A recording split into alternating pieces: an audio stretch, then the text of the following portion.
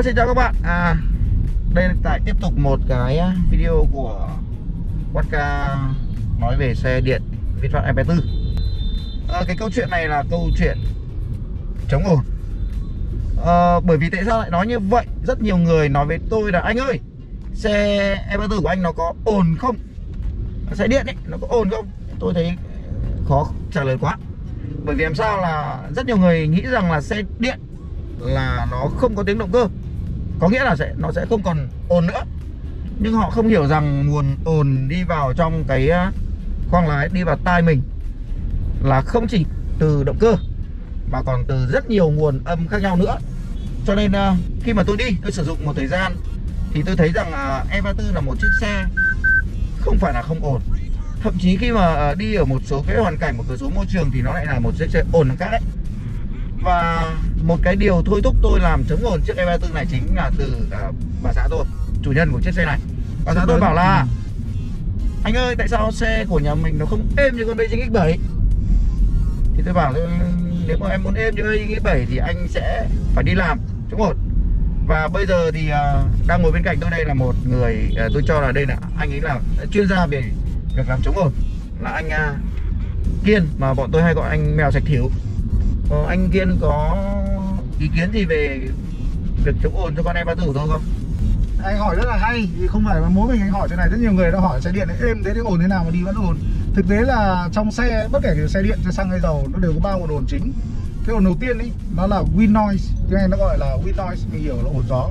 Khi các bạn tốc độ cao thì gió nó nó quẩn vào xe và nó quẩn đến nóc nó tạo vẫn ù của gió thì cái ồn đầu tiên nó liên quan đến số khí khí động của xe số CD à? Ừ, đúng không? đúng. của xe đúng không? Chứ nó chẳng liên quan đến là xe gì cả. Đúng. đấy.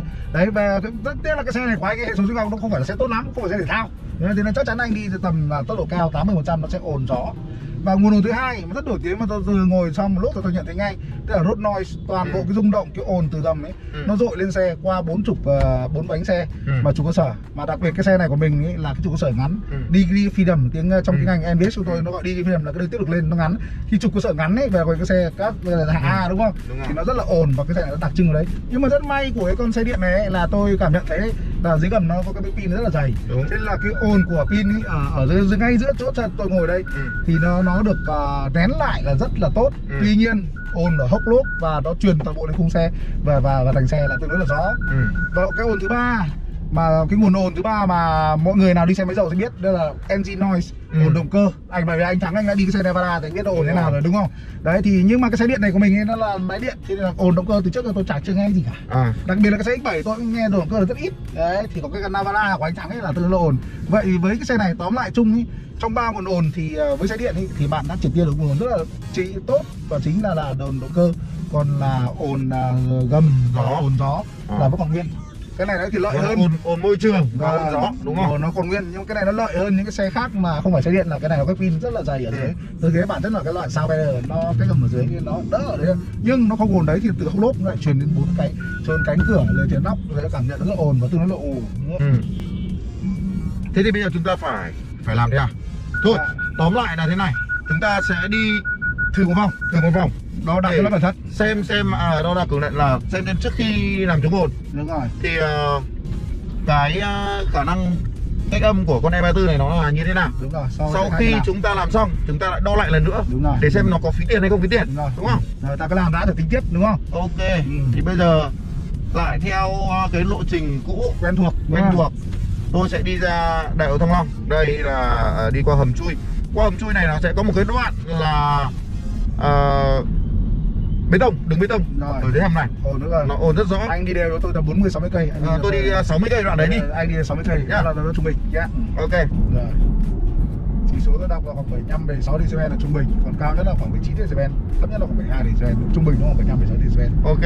À, bây giờ chúng ta sẽ đi qua cái chỗ này. Nó hơi đông đông thì à, sẽ đi thêm và chúng ta sẽ tăng tốc lên 100 km một giờ. Rồi xem thế nào mà tiếng ồn gió khá là to đúng không? Bắt đầu bắt đầu thấy gió đây.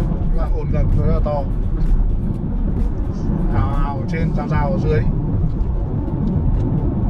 Ồn gầm rất là to. Vừa rồi thì anh em mình vừa cứ đi một, đoạn là khoảng 60 cây một đoạn là qua hầm đúng không? Đúng 60 cây này sau đó ta tăng đến 100 à, cây đúng không? 80 cây và 100 cây, cây. Ừ. thì 60 cây thì cái ồn gầm rồi rồi rồi. Không nói thì 80 cây thì ồn gầm vẫn là chủ yếu. Nhưng đến 100 cây là kia cả cái ồn gầm và cái ồn gió. Ồn gió bắt đầu rất là rõ đấy bởi vì chỉ cái ồn gió cái xe này nó sẽ tồn tại ở tầm 100 cây. Tầm 80 cây trở lên bắt đầu ồn gió còn 80 cây trở xuống thì ồn gầm rất là rõ đấy, bây giờ 80 cây ồn gầm gào thôi đội đấy. Vậy thì bây giờ giải pháp của anh là chúng ta phải làm gì với chiếc E34 này? vậy ờ, vừa rồi nó cảm nhận thấy rất, rất rõ là cái ồn gầm này cái này nó dội toàn từ bốn phía đây từ bốn hốc lốp lên. Vậy ở đây giải pháp của ta ta phải ra cố lại cánh cửa. Và ta có hốc lốp và nóc. Đây là ba giải pháp cơ bản. Ok. còn là cụ thể như thế nào thì trong quá trình làm chúng ta cũng chia sẻ. Quy trình cụ thể. Ok. và sau đó ta lại đi lại và ta review lại đây ta làm thì có hiệu quả hay không Ok. Sau khi tôi về anh Mèo à, đo đạc cái à, độ ồn của chiếc à, VE3 E34 e xong thì bây giờ chúng tôi sẽ bắt đầu tiến hành làm chống ồn. Tôi đã bóc hết tất cả cái nội thất của chiếc V34 ra để xem xem V34 à, nó được làm như nào. Thứ nhất là về vấn đề tất cả ở trần này, ờ, sàn này, ghế ra thì uh, trần này là à, không có bất kỳ một cái đem binh nào, một cái chống ồn nào. uh, hốc lốp, sàn không có, chỉ có một cái hộc uh, à, để uh, cốp này này. Thực chất cái này là ngày uh, trước nó là để uh, lốp sơ cua nhưng mà um, bây giờ không có thì nó có một uh, chút binh. Tuy nhiên thì đây, đây là cái uh, tấm ốp ở phía hốc lốp thì uh, mặc dù là ở đây không có dán damping nhưng các bạn có thể nhìn ở đây thì uh, VinFast họ đã làm cũng khá là kỹ dùng cái bông tiêu âm để hút các cái âm vào đây. Tuy nhiên nếu mà chỉ có mỗi cái này không thì chưa đủ, chắc chắn là chưa đủ. Bởi vì uh, khi mà chúng tôi ngồi ở trên xe thì vẫn cảm nhận rất là rõ cái tiếng ờ, ồn từ uh, ồn gió này, rồi ồn từ uh, mặt đường thông qua cái lốp và nó truyền vào vào khung xe. Thì à, cái bông này chưa đủ. Cái tam ly cửa thì à, VinFast làm cũng cẩn thận nhá. Cũng cẩn thận. Là cũng có cái bông để để tiêu âm. Và các bạn có thể tiến vào đây. Tiến vào đây thì à, các bạn có thể nhìn thấy rằng cái cửa này, nó không có cái gì cả. Ngoài ra là ở trên đây nó có một cái ở chỗ đậy này. Ở các cái xe của Nhật hay là Hàn thì cái đậy này nó chỉ là cái miếng ni lông thôi. Nhưng với VinFast thì nó nó làm kỹ hơn một chút. Có một cái điều này này, xe E34 nó là một cái xe điện. Nó có một cái bách pin nằm giữa trục cơ sở của chiếc xe. Trên cái phần gầm nó cực kỳ chắc, rất chắc. Và gần như tiếng vọng từ gầm lên là không có, rất ít. Vậy thì tiếng ồn chủ yếu ờ, chúng ta cảm nhận được ở trên chiếc E34 là đến từ đâu? Đến từ hốc lốp đến từ cánh cửa và đến từ trần xe. À, đặc biệt là cái giải từ 80 km trở lên thì cái tiếng ồn đấy nó khá là rõ rệt. Vậy thì chúng ta phải làm cái gì? Đầu tiên chúng ta phải làm chống ồn hốc lốp chống ồn hốc lốp thì nó có cái vật liệu này. Vị cái vật liệu này nó rất là nặng này. Các bạn có thể thấy nó là cao su đã được lưu hóa. Cái này có tác dụng gì? Cái này có tác dụng là ngăn, nó như là một cái barrier ngăn cái âm thanh ấy. Ngăn cái âm thanh nó lọt qua cái cái sắt này, cái cái tôn này vào trong khung xe. Và cái này nó ngăn lại. Đó. Cái này các bạn chỉ được phép dán từ trên xuống. Thế dán từ dưới lên nó nó sẽ rơi, nó sẽ rơi ngay bởi vì cái này nó rất là nặng. Nó là phải khoảng 2 cân 6 một mét vuông. Nó rất là nặng. Sau khi dán cái này xong thì các bạn phải dán thêm cái này nữa. Bởi vì nếu mà các bạn dán kín cái này bằng cái tấm kia, thì rất có thể là cái, cả cái khung xe này của bạn sẽ trở trở thành một cái cái thùng cộng hưởng. Nó gây ra ù. Thì các bạn phải dán thêm cái này. Cái này là có tác dụng gì? Cái này là xốp, rất là xốp. Thì nó có tác dụng là để để hút cái âm. Cái vật liệu này nó nó nhẹ hơn vật liệu kia. Mỏng hơn, nhẹ hơn. Thì sẽ làm thế nào? Các ờ, đồng chí kỹ thuật viên là sẽ dán ngược cái này lên trên trên đây. Cắt thành cái miếng nhỏ, dán ngược vào đây. Dán xong cái lớp đầu, ta lại dùng cái lớp xốp kia. Dán tiếp, lên trên. Và cái vè nhựa của cái hốc lốp này, ta cũng phải dán cái này và dán cái kia hai lần. Có nghĩa là trong cái hốc lốp ở phía bên ngoài là chúng ta làm bốn lớp, ở phía trong hai lớp nữa là 6 lớp cho cái hốc lốp này ờ, cái việc này là chúng ta không sáng tác mà cái này đã được uh, các kỹ sư uh, ô tô họ đã làm ở trên chiếc xe cao cấp đắt tiền rồi. Tiếp tục là còn một cái vị trí nữa đó là vị trí cửa. Cửa thì cũng sử dụng hai cái vật liệu này để dán. À, tuy nhiên trước khi mà dán cái cửa này này thì các bạn có thể nhìn thấy các cái kỹ thuật viên họ đã dùng giấy giáp họ đánh sạch tất cả cái tạp chất ở trên bề mặt đi sau đó họ dùng sơn chống dỉ họ sơn lên để khô. Sau đó mình dán cái lớp này vào. Vào trong này. Xong dán những lớp này. Và dán cả ngoài này nữa, cũng dán cả lớp này. Cái tiếp tục, một cái vật liệu nữa, tôi cho các bạn, giới thiệu với các bạn. Đó là cái vật liệu này. Cái vật liệu này thì nó cũng là vật liệu xốp như cái vật liệu kia thôi. Nhưng nó có thêm một cái lớp trắng bạc ở trên. Vật liệu này rất là nhẹ thì vật liệu này nó có tác dụng gì? Các bạn khi các bạn dán ở trên nóc xe các bạn dán một cái lớp này ở trên nóc xe xong các bạn dán thêm một cái lớp này nữa. Thì ngoài việc mà mưa nó rơi trên nóc xe nó không còn bộp bộp bộp bộp bộp, bộp nữa mà các bạn sẽ không nghe tiếng gì cả. Thêm nữa cái lớp này nó chính là lớp cách nhiệt. Khi mà mùa hè là cái nhiệt độ ở trên nóc xe nó được hấp thụ rất là cao thì nó gặp cái cái lớp trắng bạc này nó sẽ cách nhiệt.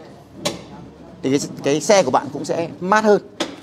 Và cái lớp này đặc biệt nó cũng không ngậm nước. Đó.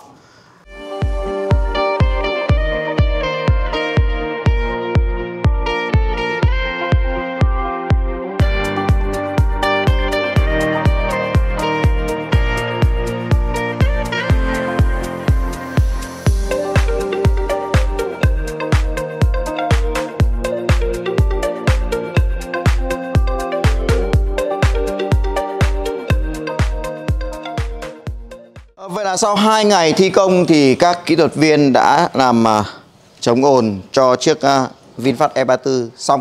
Và bây giờ chúng ta đi lại một vòng xem họ đã làm được những cái gì.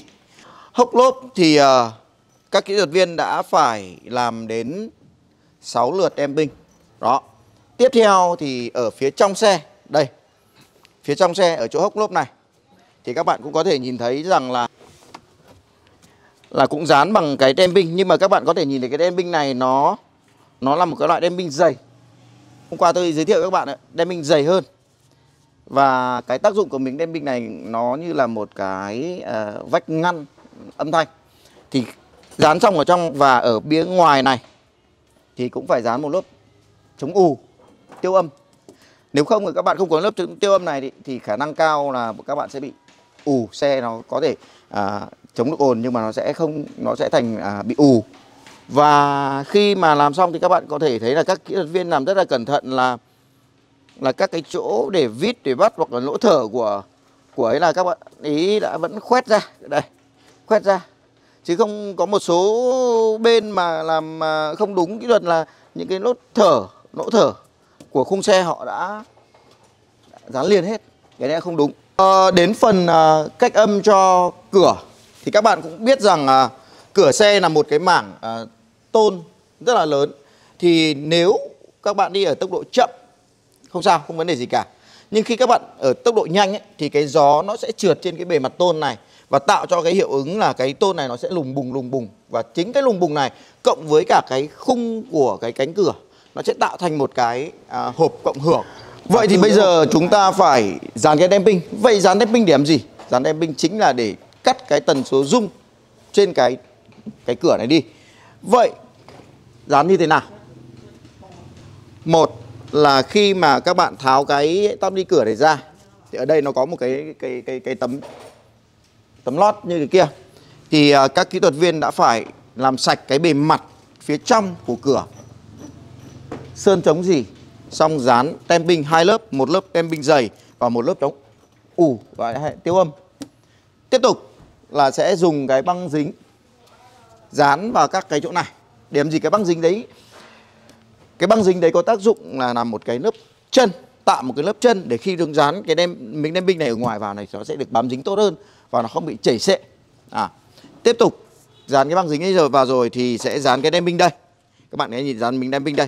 Và tiếp tục là sẽ dán một cái cái miếng tiêu âm, chống ù lên trên. Và khi mà bạn lắp vào, thì chúng ta sẽ lắp cái miếng nguyên bản của nó của nó đây. Và khi mà lắp vào thì chúng ta lại dùng đúng cái miếng nguyên bản của nó. Chúng ta lắp vào, đó. Và bây giờ lại như zin. Tiếp tục, còn cái táp ly nhựa ở phía trong này nữa cái chỗ đấy nó cũng tạo thành một cái hốc một cái hộp cộng hưởng. Bây giờ là sau khi đã dán xong rồi thì các kỹ thuật viên sẽ lắp lại tất cả những cái phụ kiện vào chiếc E34 để nó thành một chiếc xe hoàn thiện. Và sau khi mà các kỹ thuật viên à, lắp xong rồi thì uh, chúng ta sẽ lại đi test thử xem cái hiệu quả uh, chống ồn của E34 nó có được như kỳ vọng ờ, mà mà ban đầu tôi với cả anh uh, mèo anh nói không.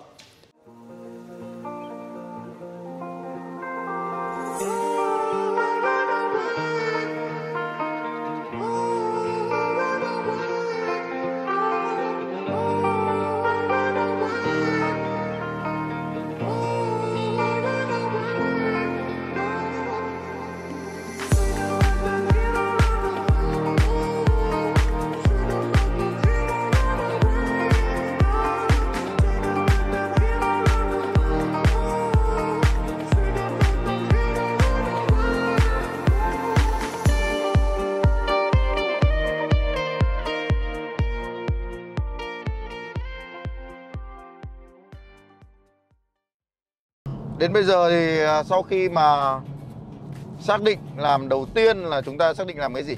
Bốn hốc lốp này, bốn hông lốp ờ, bốn cánh cửa này bốn cánh cửa và nóc xe đúng không? vị trí Ba vị trí đấy bởi vì tại sao lại xác định ba vị trí? Bởi vì hôm trước chúng ta đi thì chúng ta cảm nhận được rất rõ cái việc mà tiếng vọng nó vào đến từ ba chỗ đấy đúng không? ừ. Bây giờ thì khi mà chúng làm xong rồi thì chúng ta lại làm làm lại, thử lại, xét lại, đo lại cả ba cái chỗ vị trí đấy. Thì bây giờ thôi, nói đi chả bằng nói lại. Định lượng bao giờ cũng cũng chính xác hơn. ừ. Bây giờ tôi tao ờ, để xét xong- ở 60 km h này. ừ. Đo cho tao cái giải tần của 60 km h xem ok bao nhiêu. Rồi, đo 60 nhá Ok. 68 70 68 70 à? ừ. Đó, đây là xuống đấy. Tiếp tục ta sẽ đo nốt cái 100 giải tốc độ 100 để cho nó sau này chúng ta bình luận tiếp đúng không? Nào, Lên 100 đi. 100 nhá. 85 này. 90 này. 95 này. 100 này. Rồi, ra cho chẵn 100. 75 trung bình là 75 Trung bình 75 đúng không? nó chỉ hơn mấy decibel đấy Kia nó 75 decibel. 80. cái 8 lúc nãy là 77 73 74 cái này hơn 15 nó chỉ hơn tí Đấy. ừ.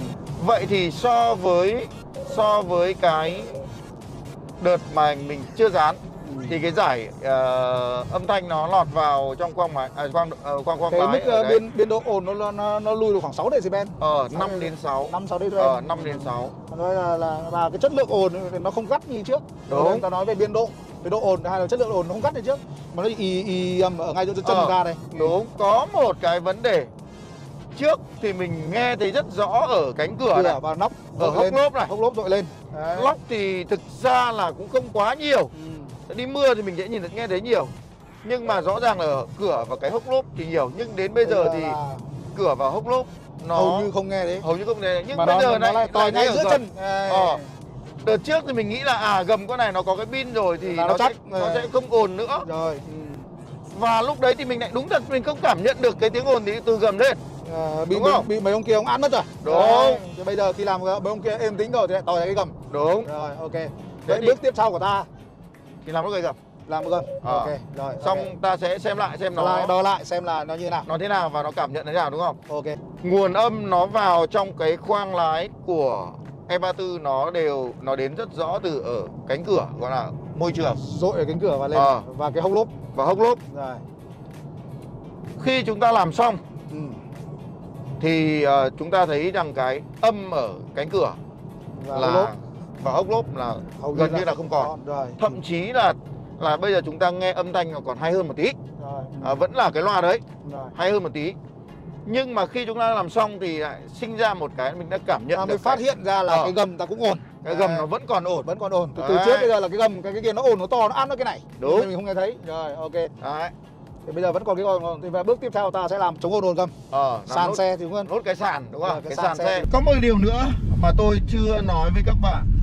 Đó là lốp. Lốp là một cái thứ nó quan nó liên quan rất nhiều mật thiết đến cái nguồn ồn. Đúng không rốt noise Đúng rồi. đường, đường đi lên qua cái lốp. Đúng. Ờ, xin thưa với các bạn là cái lốp của chiếc E34 là lốp ờ, Continental. Một thương hiệu lốp đến từ Đức. Cái lốp Continental này nó lắp trên cả Mercedes nhá. hầu hết các lớp Mercedes ở Việt Nam thì, thì ờ, lắp lốp Continental. Nhưng rất đen. Là lốp Continental lắp trên E34 lại là cái lốp Continental cứng loại cứng tại sao người ta lắp loại cứng ấy Ờ, tại vì là con này nó nó có mặc dù nó là xe nhỏ thôi nhưng nó có cái la răng đến 18 inch. à rồi rồi rồi Nếu mà với một cái cái xẹp Nó- có mỏng. 45 thôi, nó mỏng mỏng, mỏng. mà Rồi, ok. lúc nó không cứng nó thì trong xe xe nó sẽ trành xe trong trành bắt bởi buộc vì là cái cái hệ thống treo của những cái chiếc xe rẻ tiền này nó không, Không thể ngon được ngon được xe xịn được. mà xe xịn đúng không? rồi nên chính vì vậy mà nó bắt buộc phải làm lúc bắt buộc phải làm như để thế. nó tránh trong tranh đúng không Thế thì giải một trong những cái giải pháp nữa mà chúng ta có thể cải thiện rất là tốt, rất là nhiều cái khả năng chống ồn đó chính là thay lốp.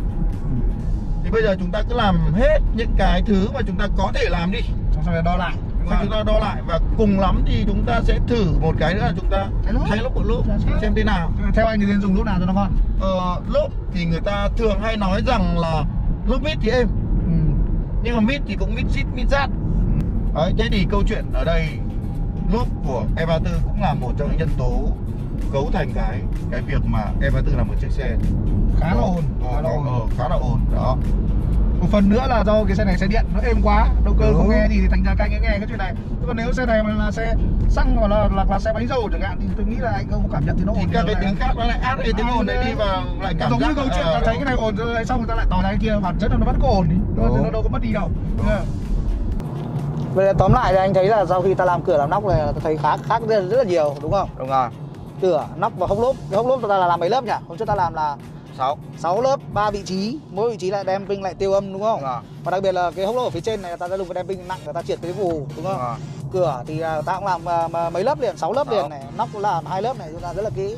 vậy thì bây giờ là chúng ta lại cảm nhận được cái cái tiếng vọng ở cái sàn xe này nó nhiều rõ đúng không bình thường ra như cái xe Mazda 3 đợt trước mà chúng mình làm chống ồn thì sẽ có một cái công đoạn là phun Phun phủ gầm phun phủ gầm thì nó sẽ mềm cái tiếng à, này đi Đúng. rất là nhiều. Tuy Đấy. nhiên với chiếc xe này chúng chúng ta không làm đấy. Không làm thế được, ờ, bởi vì nó cái pin rất là dày. cái bách pin dày đúng không? Ừ.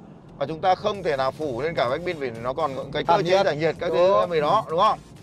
Thì bây giờ chúng ta chỉ còn làm một thứ là chúng ta sẽ dán tem pin ở mặt trong, sàn, mặt trong đúng không? Ờ. Để hình thành một cái cái lớp cái sau ờ, barrier lớp cách âm rồi. từ dưới lên và ta phải dán cả tiêu âm rất là kỹ không nó ù Rồi. Đấy? Ok. Ờ, vậy thì câu chuyện là thế này. Dán chống ồn cho E34 có hiệu quả không? Thì có thể khẳng định là có.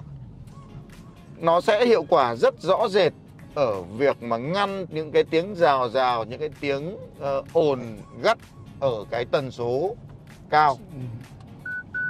Và đến bây giờ thì uh, sau một cái ờ, đợt làm chống ồn bao gồm 3 vị trí là hốc lốp này, cánh cửa và nóc thì chúng ta thấy rằng cái hiệu quả của ờ, chống ồn nó giảm rõ rệt.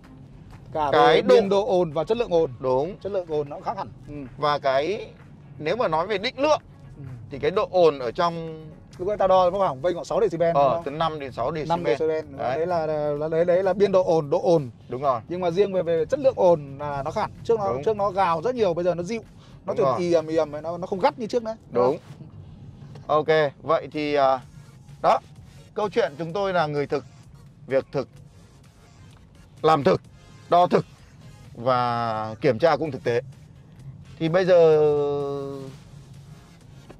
quyết định là ở các bạn, các bạn có muốn trải nghiệm hay không Ờ. ừ. Nếu các bạn muốn trải nghiệm về chiếc VinFast E34 ờ, sau khi chống ồn nó tèo thì cứ liên hệ với Liên hệ với tôi. sẽ cho đi thử. Chúng nếu các bạn có những cái ý kiến gì về việc ờ, làm thế làm chống ồn cho nó tốt hơn. hiệu quả hay không hiệu quả Ừ. tốt hơn hay không tốt hơn tốn tiền hay không tốn tiền thì mời các bạn à, comment ở phía dưới. Chúng ta lại Cùng cùng, bàn nhau bàn luận đúng không? À, còn bây giờ thì tôi với cả à, chuyên gia mèo sạch thỉu xin à, chào và hẹn gặp lại ở các bạn cái clip mà chúng ta sẽ làm lốt cái sàn của E34. Rồi hôm sau sẽ làm xong sẽ lại gặp lại anh em nhá. Ok. Rồi xin, Xin chào, chào. Ừ.